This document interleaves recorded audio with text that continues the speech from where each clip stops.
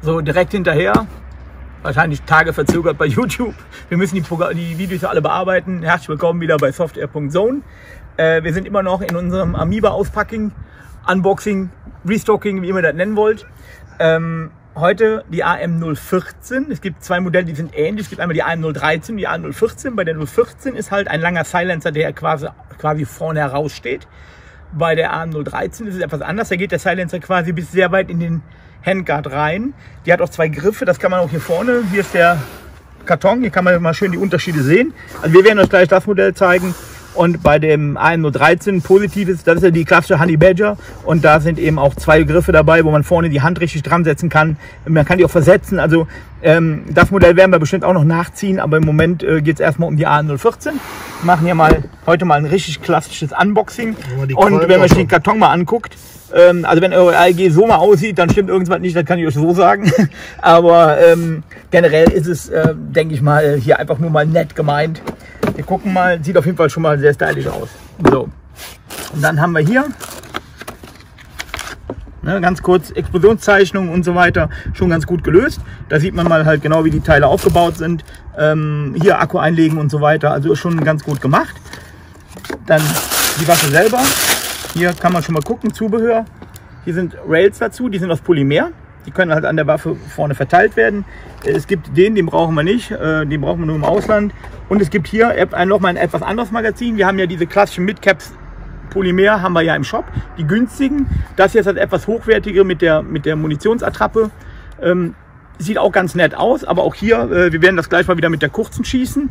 Ähm, ne, das ist halt das 120er, das ist ein 140er und wenn man mal den Unterschied sieht, das sieht schon sehr cool aus. Ähm, aber das ist halt das mit, dem, mit der Patronenattrappe. Hier kann man das auch sehr schön erkennen wie normale Feuerwaffenpatronen. So, dann haben wir hier die Waffe selber. Und man sieht schon beim Rausziehen den sehr langen Silencer. Wie gesagt, äh, das sind ja im PDW-Design, also Personal Defense Design, ähm, wie die ganzen SWAT-Truppen, SEKs und so weiter, die ja überall verwenden, SAS und wie sie alle heißen. Ähm, und da kommt auch dieser Ausdruck Honey Badger her. Das ist aber, wie gesagt, eher bei der 013 so das Original. Aber die sieht halt wirklich aus wie ein SWAT. Ja, eine SWAT MP ist halt für kurze Räume gedacht, für wirklich für kleine Situationen. Äh, also perfekt für CQB. Auch hier, wenn ich drauf drücke, rastet hier der Stock ein. Also perfekt gelöst äh, von der Waffe her. Also da würde ich sagen, ähm, technische Details gleich mal mehr. Jetzt erstmal zu der, zur Verarbeitung. Die Waffen sind ähnlich verarbeitet wie das, was wir in den letzten Videos schon gezeigt haben. Das heißt, wir haben Polymer Body, wir haben auch hier alles in Polymer. Der Handguard ist aus Metall, ähm, hat ja auch dieses klassische Lock-System. Ähm, dann eben vorne der Silencer ist komplett aus Metall. Ähm, die Schulterstütze ist aus Kunststoff komplett. Wir haben hier die Schulterstützenträger sind aus Metall. Ähm, dann haben wir hier die Flip-Up-Signs. Ne, wobei die meisten arbeiten natürlich klar mit, mit irgendeiner Optik. Ähm, dann haben wir einen Speed Trigger, das ist halt ein EFCS-System, die Waffe. Das heißt, die ist wieder mit diesem Programmer, den wir ja schon mehrfach jetzt gezeigt haben, also mit diesem kleinen Gerät hier, wieder programmierbar auf Semi, Semi, Semi-Burst und so weiter, äh, mit recht kleinen Mitteln. Die Waffe selber ist leicht, also dürfte so um die 2400 Gramm liegen, aber wie gesagt, das, äh, dazu mal später mehr. Ähm, und ansonsten, wir haben auch den typisch großen Mac-Release, ähm, und wir werden die gleich auch mal Probe schießen. Ähm, und allein durch den langen Lauf hier hat die natürlich schon eine recht gute, präzise Lage, hoffen wir.